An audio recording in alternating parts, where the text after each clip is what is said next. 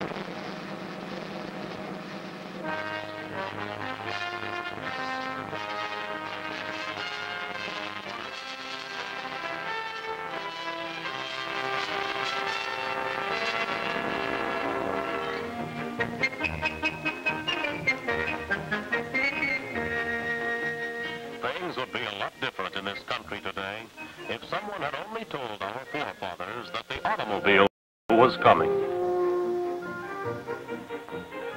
Sure, they love their horses. But when they planned the streets of our cities with nothing but horses in mind, they put their automobile-loving descendants in quite a jam. A traffic jam. Narrow downtown streets, originally designed for horses and buggies, cannot handle today's volume of vehicles. This is Boston. And the story is the same in all our great American cities. We are 100 to 200 years too late to change the street plans of our metropolitan business districts.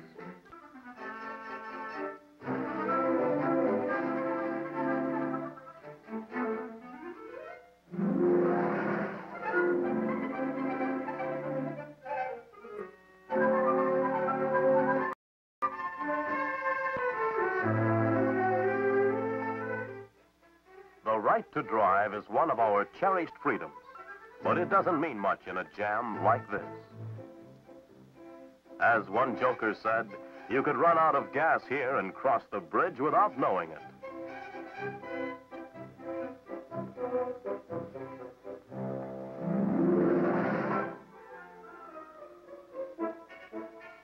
So, what are we going to do about the situation? We can't do without our downtown business districts because we need centralized areas for the municipal, financial, and mercantile affairs of our cities.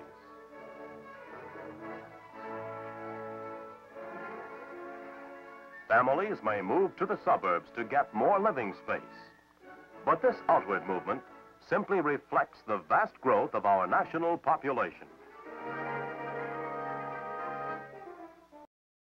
More and more people now live in the suburbs. But record high populations live, work, and shop within the corporate limits of our great cities. So that more than ever before, we need our downtown business districts and a better means of going to and from them.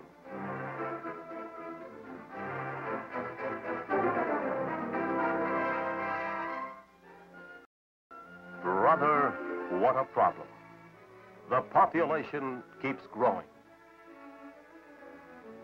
10,000 new cars keep being born every day, and the streets remain the same size.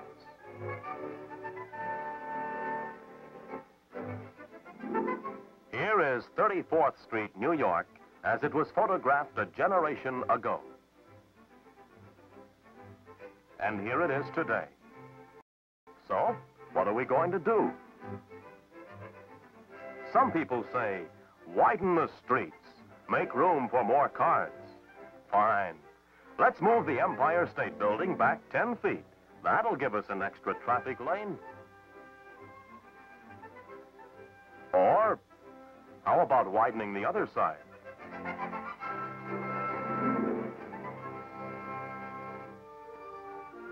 Street widening is a good idea when it can be done. They widened and reconstructed Michigan Avenue, Detroit in 1942, adding two lanes to relieve the jam.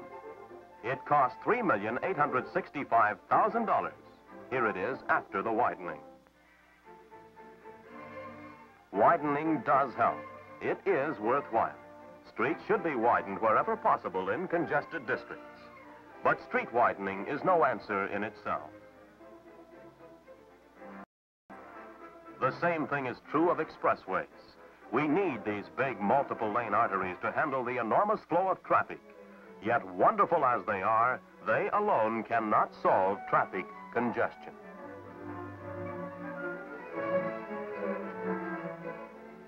Fifty-five miles per hour is permitted on this expressway.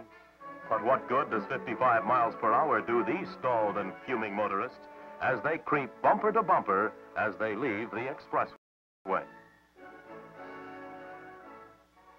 And here we have the great Hollywood Freeway, which slices through mountainous hills to connect the city of Los Angeles with the heavily populated San Fernando Valley.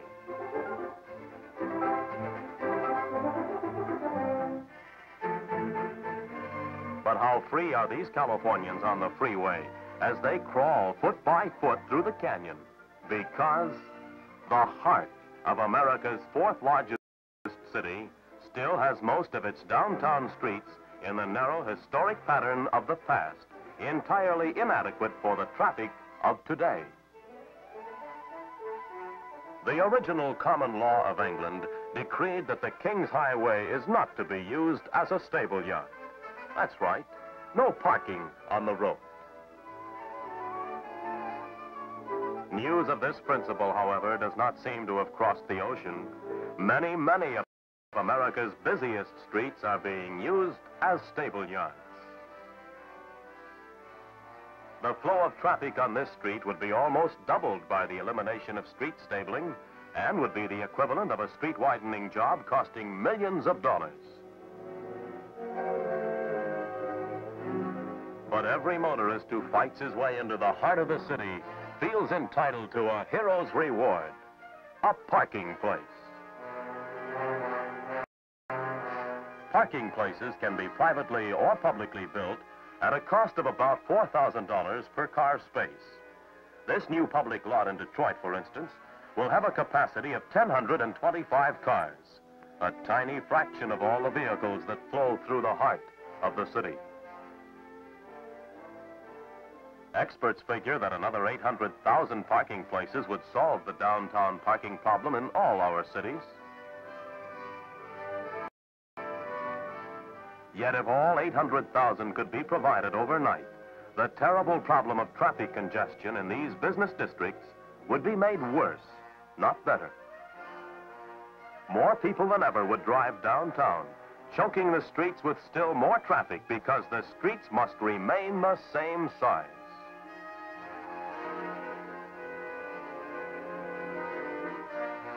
Many city planners and traffic engineers reached a point of complete despair trying to fit millions of 20th century automobiles into 18th century street plans. But now, they are beginning to realize there is one good and obvious solution. Shift the emphasis to moving people instead of vehicles. After all, the whole reason for a central business district is to provide a meeting place and a work center for people. It is people who buy and sell the merchandise in the shops and stores.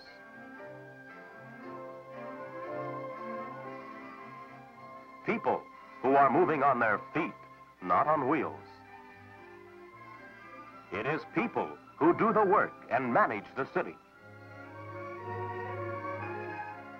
People who eat the meals, patronize the hotels, and attend the theaters. What's more, there's plenty of room for people downtown, even at the peaks of the major shopping seasons. And it's people in the heart of the city, not vehicles, that buy the goods and services. And here's a significant thing. A person only occupies a space of about four square feet. An automobile needs close to 96. The automobile takes up 24 times as much space as the person. The drivers and all of the passengers in this so-called rush hour scene can be comfortably seated in just one modern motor coach. When the passengers alight, they present no parking problem, neither does the motor coach. It moves on to serve other people.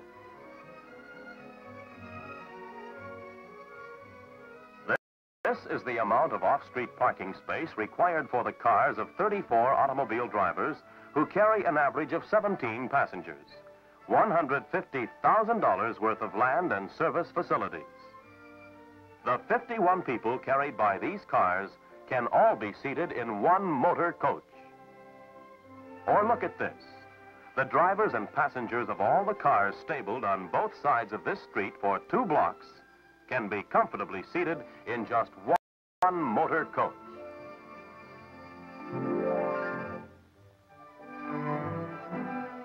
City planners have invested billions of public funds to build traffic arteries that lead into the heart of the city. Yet everything they've done has hardly kept them abreast of the problem because they've been unable to use traffic arteries for the mass movement of people.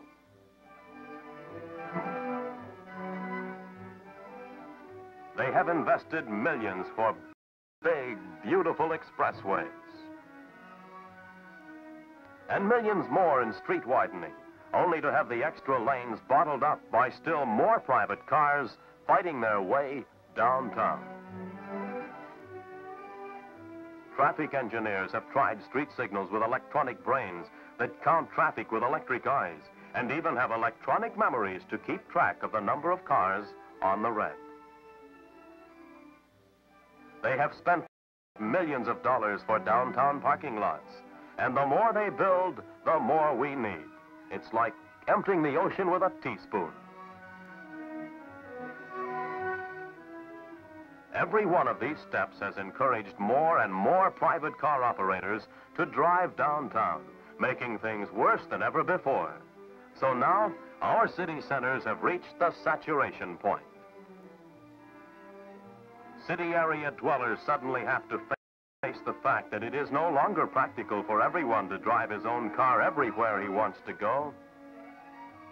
The right to drive bumps into the hard facts of geography when it comes to driving downtown. What's the answer then? Prohibit private cars? Naturally, city planners are not thinking of eliminating private cars from city streets. They realize that some business and professional men need their cars for their work. But there are a great many others, such as commuters and shoppers, who really don't need their cars downtown who could help both themselves and their community by using public transportation for trips into the Central District and their private cars for trips outside the congested areas. By combining private car use with public transportation, they will enjoy maximum freedom of movement. As more motorists make use of bus transportation, they'll also realize that the precious right-of-way on our public streets should be divided among people, not vehicles. Even today, most of the people who come downtown to work or shop in our largest cities travel by public transportation. Because the streets are choked with private cars, those who make the trip daily by means of street transportation lose an entire hour out of their lives 250 hours a year. The traffic congestion adds greatly to the cost of their transportation. And it's important to remember that bus riders are taxpayers too.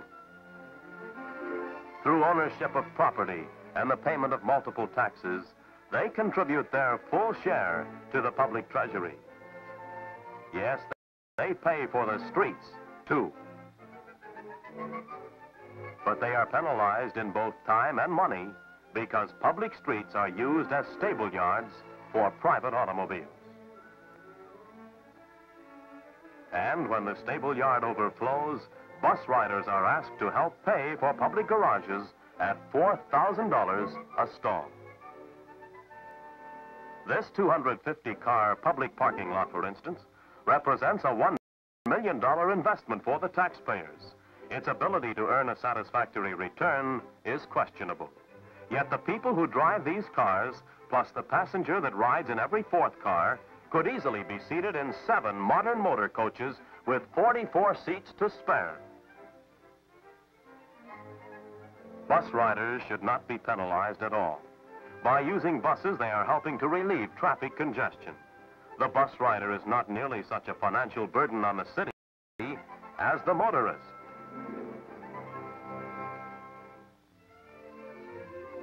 The large capacity motor coach is the most efficient mover of large numbers of people because it carries as many seated passengers as 34 private automobiles with an average of only 1.5 persons per car. Because of its flexibility, it is the only form of mass transportation that fits into the pattern of this automotive age, capable of maximum legal speeds. It can make use of the same entrances, exits, and traffic lanes as other vehicles. It can move right along with the other traffic.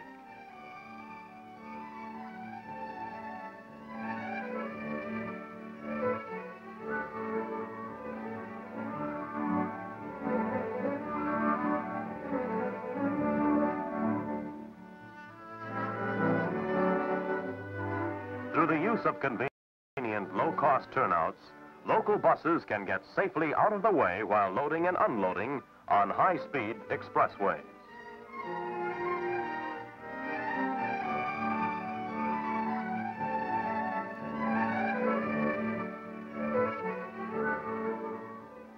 Bus travel on expressways increases the usefulness of these thoroughfares. It has been found that when buses comprise 1% of total expressway traffic, they raise the expressway's carrying capacity by 25%. 4% usage would double an expressway's capacity. Above all, the motor coach needs no fixed right-of-way. Routes can be added or changed overnight. So, at long last, city planners everywhere do have a way out. First, they emphasize the movement of people rather than vehicles. Second, they base their plans on the mobility and freedom of the modern motor coach. Under this new concept, street parking should be prohibited anywhere in the heart of the city. Every inch of street space should be reserved for the movement of people and goods. Here we see this system already in effect in Philadelphia. And here it is in Toledo, where the elimination of street parking has speeded up all traffic. Under this traffic planning, private cars should be permitted to pause only at designated loading zones, and then only long enough to pick up or discharge passengers. Public transportation should have top priority on downtown curb lanes for maximum speed and convenience in moving people. Weather-protected bus stops such as this, capable of accommodating numerous people, can be built by the city for a fraction of the cost of one stall in a municipal parking lot.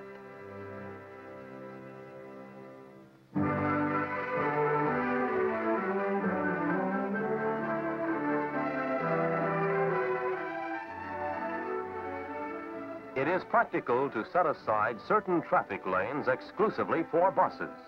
Here, in Nashville, Tennessee, this system has been an unqualified success. And now, Newark has exclusive lanes for buses.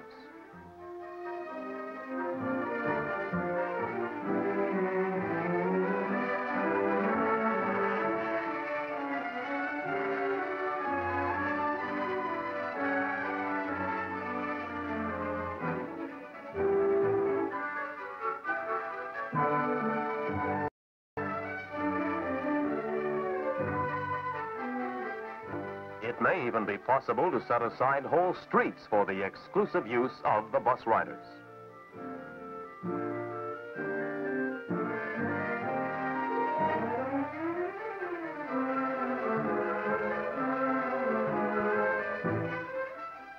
And remembering that one big bus moves as many people as 34 passenger cars, city officials should encourage bus companies to make greater use of the expressways.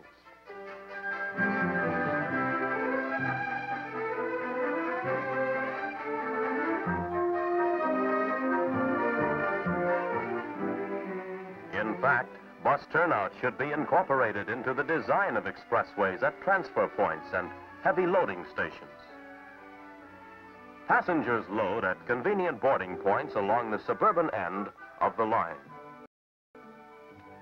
Then, the bus becomes a nonstop express to downtown, traveling swiftly on the expressway.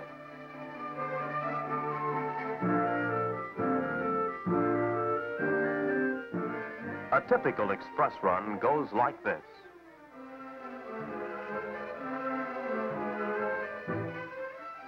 and the passengers arrive downtown in less time than a motorist can drive the same route and park his car.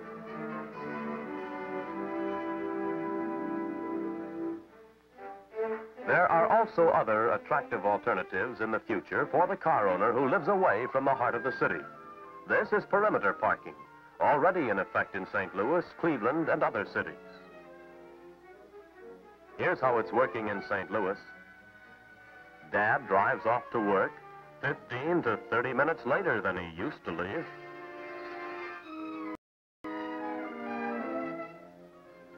He drives in free-moving traffic until he is within a few miles of the heart of the city. He parks his car in a municipal parking lot, where the cost per stall to the taxpayer is considerably less due to lower real estate value than the same space downtown. On the bus, he will buy a park ride ticket for 35 cents. This is less than the cost of parking just two hours downtown. 35 cents covers parking and the round-trip express ride. He gets on the express bus. They leave at five-minute intervals. The driver gives him a ticket and a token. The token operates a meter which opens the automatic gate when he leaves the lot at night. He has time to scan the headlines. And within eight or ten minutes, instead of 15 or 20 in the midst of nerve-wracking traffic,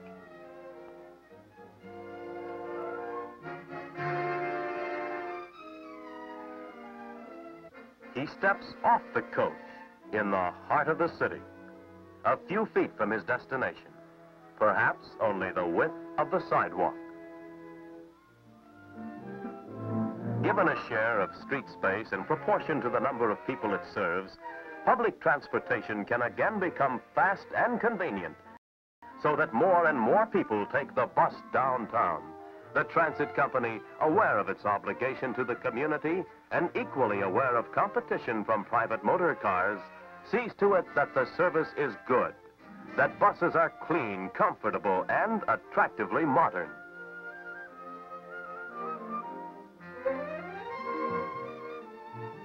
Having more street space in which to operate, bus riding becomes more attractive. Now a good chain reaction is underway.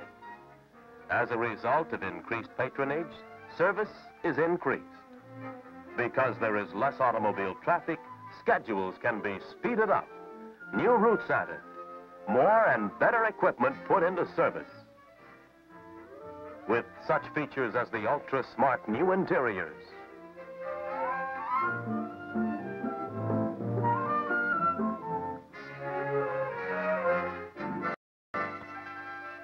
wonderful vibration-free comfort of air suspension,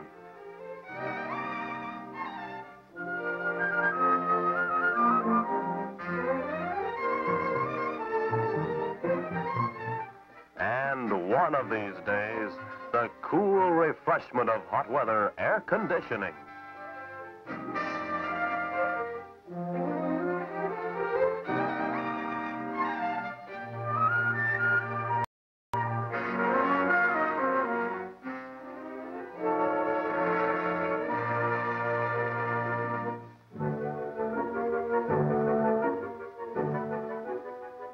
Transit operators who are anxious to give the best service possible, consistent with a fair profit, could do a far better job if relieved of outdated, burdensome taxes and regulations that hang over from years ago when public transit was a monopoly and the only means of travel for just about everybody.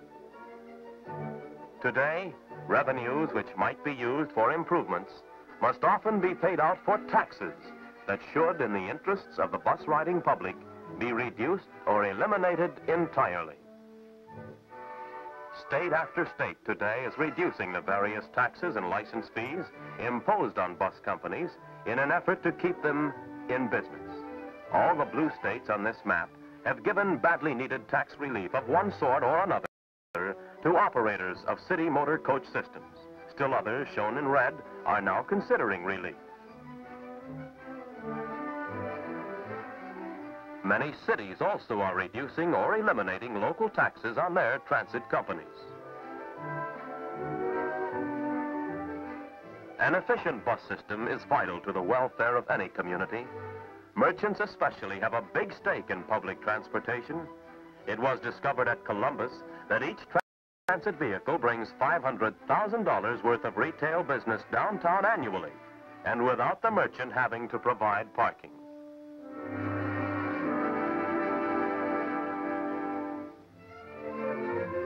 Any city that wants to end its central traffic congestion can do the job almost overnight, especially with the help of the state and other regulatory bodies.